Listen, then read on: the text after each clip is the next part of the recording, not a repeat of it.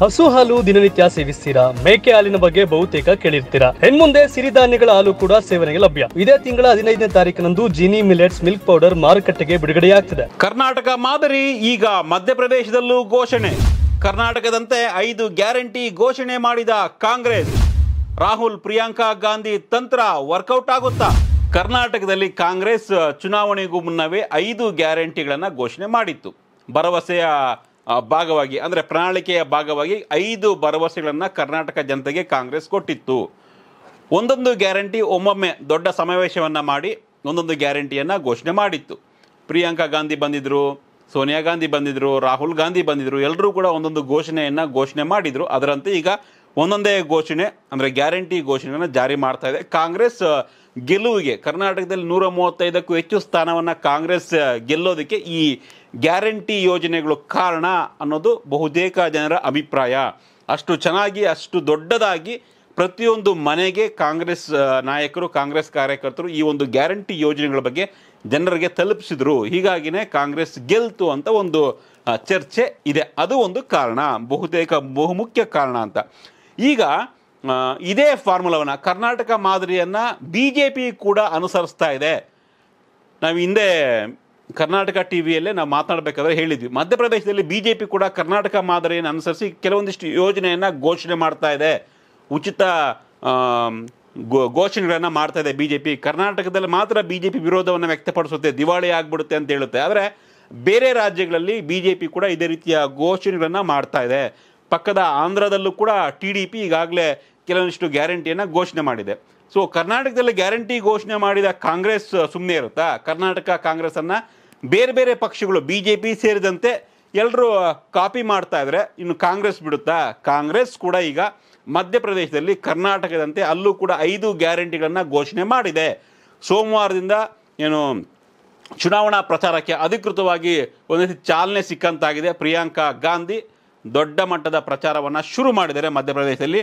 ಜೊತೆಗೆ ಈ ಒಂದು ಐದು ಗ್ಯಾರಂಟಿಗಳನ್ನು ಮಧ್ಯಪ್ರದೇಶದಲ್ಲೂ ಕೂಡ ಕಾಂಗ್ರೆಸ್ ಘೋಷಣೆ ಮಾಡಿದೆ. ಏನಪ್ಪ ಈ ಐದು ಗ್ಯಾರಂಟಿ ಅಂದರೆ? ರಾಜ್ಯದ ಪ್ರತಿ ಮಹಿಳೆಗೆ ತಿಂಗಳಿಗೆ ಸಾವಿರದ ಐನೂರು ರೂಪಾಯಿ. ಕರ್ನಾಟಕದಲ್ಲಿ ಪ್ರತಿ ಮಹಿಳೆಗೆ ಎರಡು ಸಾವಿರ ರೂಪಾಯಿ ಘೋಷಣೆ ಮಾಡಲಾಗಿತ್ತು. ಮಧ್ಯಪ್ರದೇಶದಲ್ಲಿ ಸಾವಿರದ ಐನೂರು ರೂಪಾಯಿ ಮೊದಲ ಗ್ಯಾರಂಟಿಯನ್ನು ಘೋಷಣೆ ಮಾಡಲಾಗಿದೆ.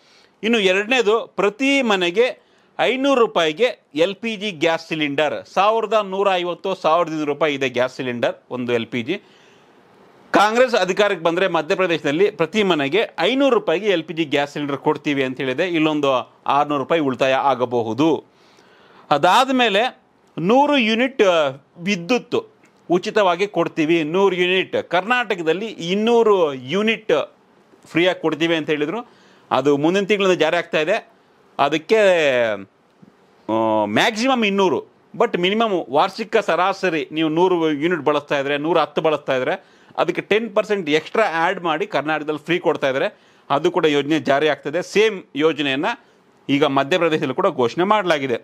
ಒಂದು ವೇಳೆ ಇನ್ನೂರಕ್ಕೂ ಜಾಸ್ತಿ ಯೂನಿಟ್ ಏನಾದರೂ ಆದರೆ ಅದಕ್ಕೆ ಅರ್ಧ ಸಾರಿ ನೂರು ಯೂನಿಟಿಂದ ಇನ್ನು- ಇನ್ನೂರು ಯೂನಿಟ್ವರೆಗೂ ಹೋದರೆ, ಅದಕ್ಕೆ ಅರ್ಧ ಚಾರ್ಜ್ ಮಾಡ್ತೀವಿ ಅಂತ ಮಧ್ಯಪ್ರದೇಶದಲ್ಲಿ ಕಾಂಗ್ರೆಸ್ ಘೋಷಣೆಯನ್ನು ಮಾಡಿದೆ. ಮತ್ತೊಂದು, ರೈತರ ಸಾಲವನ್ನು ಮನ್ನಾ ಮಾಡ್ತೀವಿ ಅಂತ ಬಹು ದೊಡ್ಡ ಘೋಷಣೆ ಇದೆ ಆ್ಯಕ್ಚುಲಿ ಎಲ್ಲದಕ್ಕಿಂತ ಅತಿ ಹೆಚ್ಚು ಖರ್ಚಾಗೋದು ಇದಕ್ಕೆ ಅನ್ನೋ ಒಂದು ಚರ್ಚೆ ಆಗ್ತಾ ಇದೆ. ರೈತ ಸಾಲವನ್ನು ಮನ್ನಾ ಮಾಡ್ತೀವಿ ಅಂತ ಮತ್ತೊಂದು ಘೋಷಣೆ, ಗ್ಯಾರಂಟಿಯನ್ನು ಘೋಷಣೆ ಮಾಡಿದೆ. ಇನ್ನೊಂದು, ಐದನೇದು, ಹಳೆಯ ಪಿಂಚಣಿ ಯೋಜನೆಯನ್ನು ಜಾರಿ ಮಾಡ್ತೀವಿ ಅಂತ ಸರ್ಕಾರಿ ನೌಕರರಿಗೆ ಇದೊಂದು ದೊಡ್ಡ ಭರವಸೆ. ಈಗ ಹಳೆಯ ಪಿಂಚಣಿ ಬೇಕೇ ಬೇಕು ಅಂತ ಸಾಕಷ್ಟು ಹೋರಾಟಗಳಾಗಿತ್ತು. ಅದು ಯಾವುದು ಜಾರಿ ಆಗಿರಲಿಲ್ಲ ಈಗ ಈ ಒಂದು ಭರವಸೆಯನ್ನು ಸರ್ಕಾರಿ ನೌಕರರಿಗೆ ಏನು ಹಳೆಯ ಪಿಂಚಣಿ ಯೋಜನೆಯನ್ನು ಜಾರಿ ಮಾಡ್ತೀವಿ ಅಂತ ಕಾಂಗ್ರೆಸ್ ಐದನೇ ಗ್ಯಾರಂಟಿಯನ್ನು ಘೋಷಣೆ ಮಾಡಿದೆ. ಕರ್ನಾಟಕದಲ್ಲಿ ಘೋಷಣೆ ಮಾಡಿದಂತಹ ಮನೆ ಹಿಡಿದ ಎರಡು ಸಾವಿರ ರೂಪಾಯಿ, ಅಲ್ಲಿ ಒಂದೂವರೆ ಸಾವಿರ ರೂಪಾಯಿ ಇದೆ. ಅದಾದ ಮೇಲೆ ಏನು ಗ್ಯಾಸ್ ಐನೂರು ರೂಪಾಯಿ ಗ್ಯಾಸ್ ಕೊಡ್ತೀವಿ ಅಂತ, ಬಟ್ ಕರ್ನಾಟಕದಲ್ಲಿ ಆ ಗ್ಯಾ, ಅದು ಇಲ್ಲ.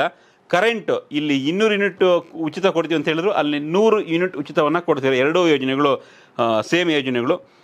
ಇನ್ನು ಮೂರು ಯೋಜನೆಗಳು ಹೊಸ ಯೋಜನೆಗಳನ್ನ ಜಾರಿ ಮಾಡ್ತೀವಿ ಅಂತ ಹೇಳಿದರಲ್ಲಿ ಒಂದು ಗ್ಯಾಸ್ ಸಿಲಿಂಡರ್ ಐನೂರು ರೂಪಾಯಿಗೆ ರೈತರ ಸಾಲ ಮನ್ನಾ ಹಳೆಯ ಪಿಂಚಣಿ ಯೋಜನೆಯನ್ನು ಜಾರಿ ಮಾಡ್ತೀವಿ ಅಂತ. ಈ ಮೂರು ಕೂಡ ಅಲ್ಲಿಗೆ ಹೊಸದು ಮಧ್ಯಪ್ರದೇಶಕ್ಕೆ. ಒಟ್ಟಿನಲ್ಲಿ ಕಾಂಗ್ರೆಸ್ ಪ್ರತಿಯೊಂದು ರಾಜ್ಯಕ್ಕೂ ಯಾವುದು ಕಾಮನ್ ಆಗಿ ಬೇಕು ಅದನ್ನ ಇಟ್ಕೊಂಡು ಉಳಿದ ಯೋಜನೆಗಳನ್ನ ಚೇಂಜಸ್ ಮಾಡ್ತಾ ಇದೆ. ಕರ್ನಾಟಕದಲ್ಲಿ ಹತ್ತು ಕೆ ಜಿ ಅಕ್ಕಿ ಕೊಡ್ತೀವಿ ಅಂತ ಹೇಳಿದರು.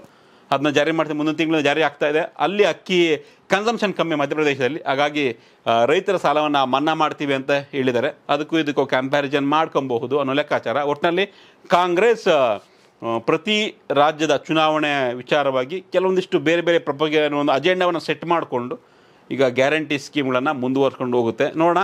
ವೀಕ್ಷಕರ ನಿಮ್ಮ ಪ್ರಕಾರ ಈಗ ಮಧ್ಯಪ್ರದೇಶ ಚುನಾವಣೆ ಬರುತ್ತೆ ಅಕ್ಟೋಬರ್ ನವೆಂಬರ್ಗೆ ಸೊ ಅಲ್ಲೂ ಕೂಡ ಕಾಂಗ್ರೆಸ್ ಈ ಗ್ಯಾರಂಟಿಗಳನ್ನು ಜನರಿಗೆ ತಲುಪಿಸಿ ಗೆಲ್ಲೋಕ್ಕೆ ಸಾಧ್ಯ ಆಗುತ್ತಾ? ಮಧ್ಯಪ್ರದೇಶದಲ್ಲಿ ಕಾಂಗ್ರೆಸ್ ಗೆಲ್ಲುತ್ತಾ? ನಿಮ್ಮ ಪ್ರಕಾರ? ಸೊ ಕಮೆಂಟ್ ಮಾಡಿ ತಿಳಿಸಿ. ಧನ್ಯವಾದಗಳು. ಕರ್ನಾಟಕ ಟಿವಿ, ಇದು ಕನ್ನಡಿಗರ ಧ್ವನಿ.